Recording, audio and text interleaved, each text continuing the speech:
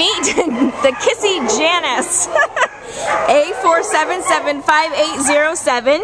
Janice is about a one-year-old German Shepherd who um, was adopted for the Baldwin Park shelter and then returned for the crime of having kennel cough, which is just a cold, which is very easily and inexpensively treated. So we're not sure why she's back here, and I feel bad for that family because what an amazing dog they're missing out on having. As you can see, she is so loving, so affectionate.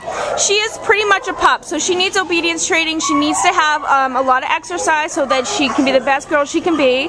Um, but she seems to do uh, be very interested in other dogs. She's a big big girl, so we want to have proper introductions if there are other dogs in the home. We think she'd be a great family dog.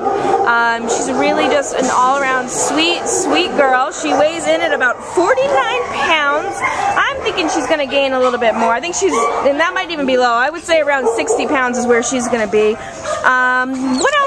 What else could we notice about this fun girl? well, first of all, she's gorgeous. oh, she's very excited. She wants to play. She sees another puppy over there. she's just she's the most beautiful German Shepherd. She's perfect.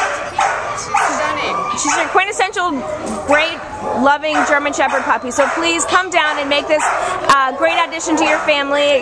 As you can see, she's so loving. It's just she's she loves life. She loves people. She loves everybody. So come down to Baldwin Park and get Janice A4775807. She's just so anxious to get out of here.